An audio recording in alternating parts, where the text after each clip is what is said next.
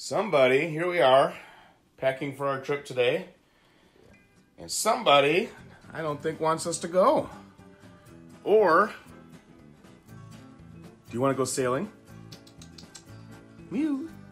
Do you want to go sailing? Do you want to go sailing? Hello, folks. Let us introduce you to our cat, Anna. What's interesting is, is she's a polydactyl. She's a ship's cat. In the age of sail, these cats were perfect because they actually have multiple opposing thumbs for running around the wooden ships to catch rats. Most captains had one of these cats, and this good little kitty hasn't sailed yet, but will be sailing with us when we take off for our live aboard world cruising adventure. But hey, let's move on. Let's start our sail to Mackinac Island.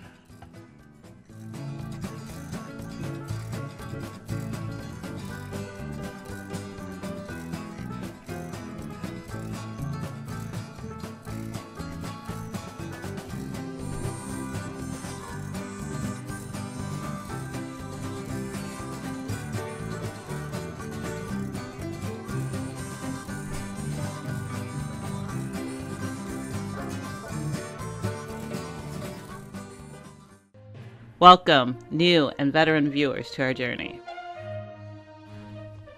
Join the DeLaat family as we embark on an adventure of a lifetime.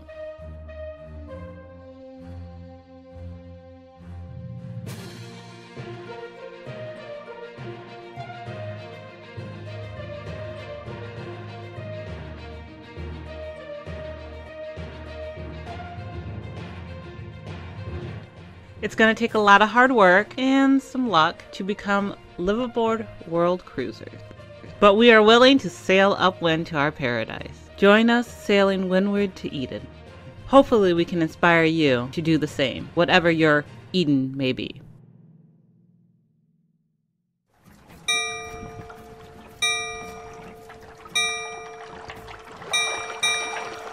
You like what you're seeing? A good way to support our channel is to drop your anchor on that subscribe button.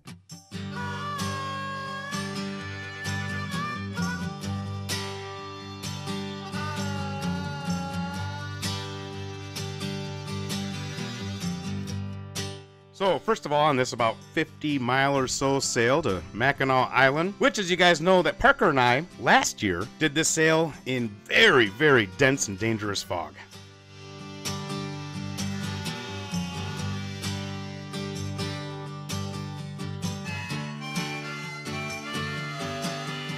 This time was a little bit different for a couple different reasons. Number one, we could actually see where we were going, which was an added benefit. And number two, Candace was with us.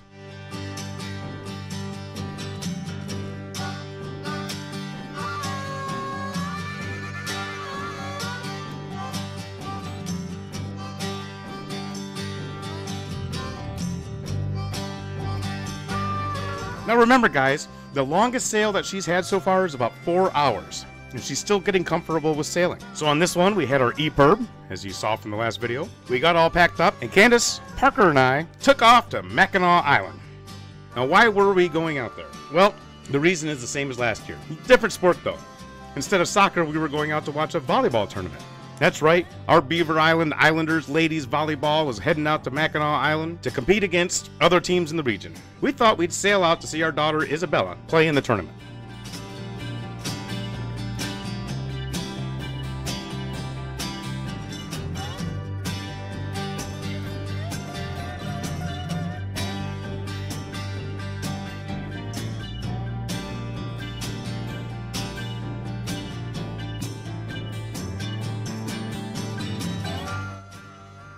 So on the way out here, you don't see Isabella with us.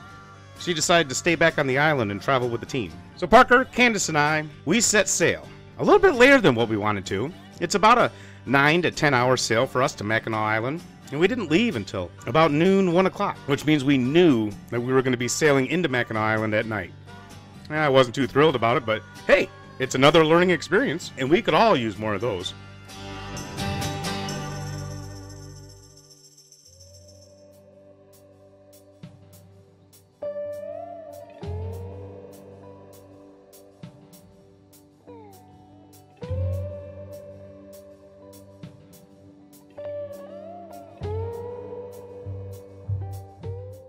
But anyway, one thing that happened the same thing as last year, and it seems like the same thing every time I head toward Mackinac, is we started out with no wind. There were some swells going through Lake Michigan, which tells me that there was wind way south of us, but we were windless. We would have been becalmed. So we didn't even bother putting up our sails for the entire trip out there, as you know, we needed to get out there by a certain time. Uh, I didn't want to be out there too late at night, and we also needed to get up early and go to the tournament in the morning. And so we didn't even bother on the way out there putting up our sails, and we just motored the entire way. Now, as you'll you'll see throughout the the show, you'll see swells going on like crazy. There was a constant swell up until about two or three miles before the Mackinac Bridge, but just no wind. At least not enough to push us over 1.5 knots. So, yep, we decided to motor. And as you guys know, I hate the motor. I hate running the motor. I hate the sound of that motor. I bought a sailboat and I want to enjoy sailing because I don't want to listen to that damn motor. I want the peace. I want the quiet. I want to listen to how sailing vessel Yemoja reacts to the wind and the weather, to the powers of nature. But with that damn motor running, we had to sail all the way out to Mackinac Island without ever putting our sails up. So, guess what, folks? Y'all know I like to do a lot of talking. One of our subscribers actually jokingly just told me I talk a lot, which I do. But you know, I got to thinking, what do I talk about in this video while we're showing images of our great trip? And in this video, it's from leaving Beaver Island and getting to Gray's Reef Lighthouse. That's going to be the striped lighthouse that you see us passing toward the end of this video. But I was on a Facebook group called YouTube Sailing Channels. Trev, Roger, David, there's a shout out for you. But somebody asked the question, why did you name your channel the name that you did? And you know, Candace and I have often wondered if Windward to Eden is just too much to explain. I mean, granted, the sailing on the end, Windward to Eden sailing, well, yeah, the sailing part should be pretty self explanatory, but what about the Windward to Eden part? Where and why did we come up with that?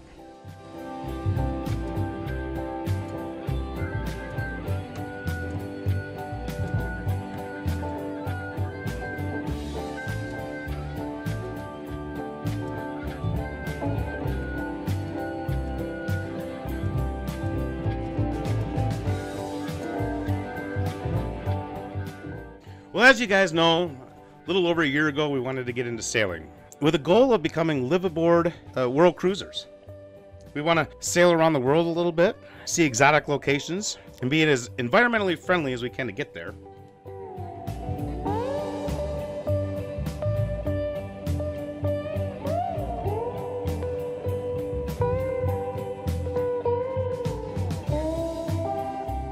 But we got a path. I mean, obviously, we're not going to do it on our Catalina 25, which is what we're sailing now, whose name is SV Yemoja. So we're going to be having to upgrade.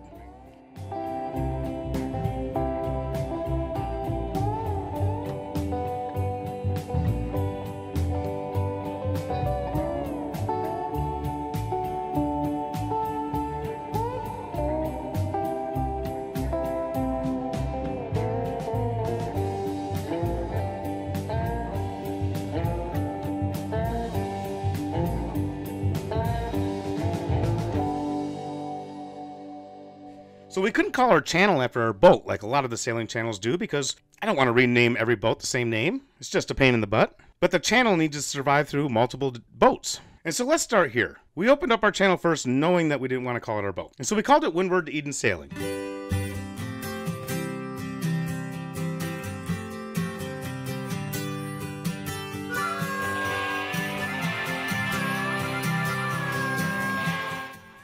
Now, somebody once told us that we love to swim upstream in a river of rice without question.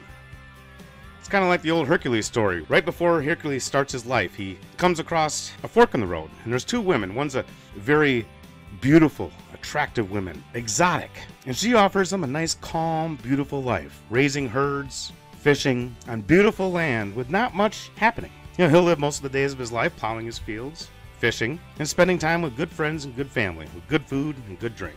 And there's nothing wrong with that. For a lot of people, that's okay. But some people need adventure. And you got to remember, the best things in life happen with the hardest course. This is what the story of Hercules teaches us.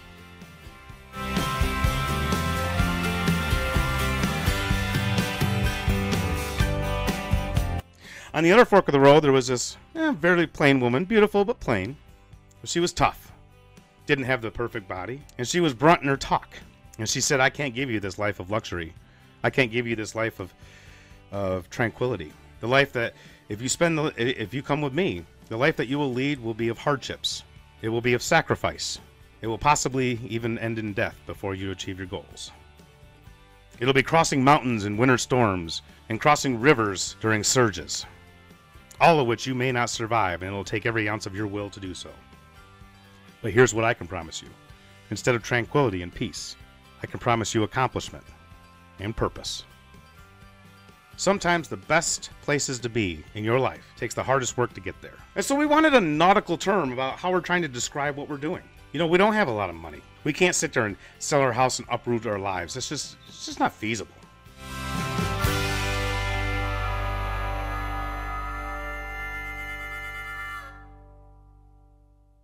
So in naming our channel, we wanted to tell people that hey, we're trying to take the hard way to paradise. That we're not blessed with inheritance and money and privilege and all these other things that many of the other ones are that we are kind of sacrificing our current state to get to the state of where we want to be. So how do we convey that? How do we put this in nautical terms for our sailing channel?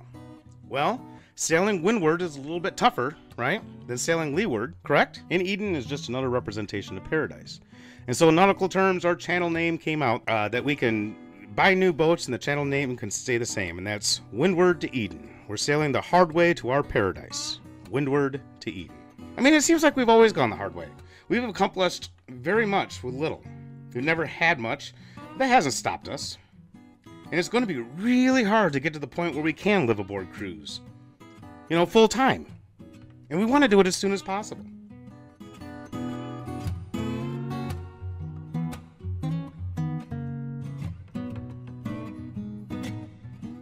When we pull the trigger to go full time, we need work. We need to finish raising kids. We have to give back. We have to donate our skills to local communities as needed as we go, whether it be the sailing community or the ocean itself. You can't go around being selfish and never giving back. We have skills. We have time while we're out there. Plus, we're going to have to make money while we're out there. You always got to give back, though.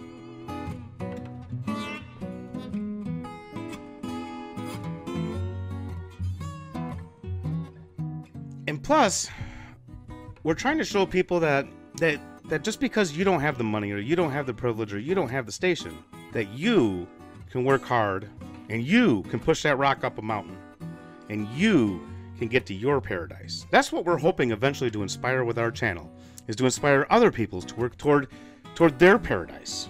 Whatever that paradise or whatever that Eden may be.